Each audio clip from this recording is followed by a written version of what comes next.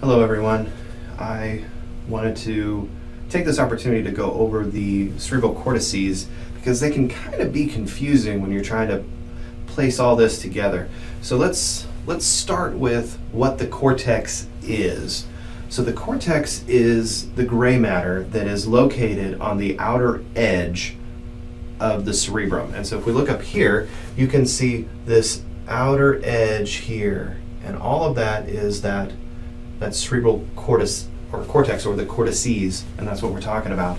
The rest of this in between here is just white matter.